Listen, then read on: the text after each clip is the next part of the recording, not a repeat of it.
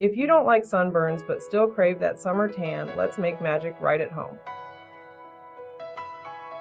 Guess what? You can get a natural tan without ever leaving your comfort zone. All you need is some black tea. Yes, you heard it right, black tea. Here's how it's done. First boil about 4 tea bags in 2 cups of water until it's super concentrated. Let it cool. Next, pour your tea solution into a clean spray bottle.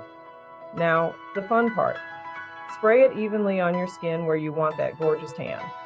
Wait for it to dry, then uh, apply another layer if you want to go darker.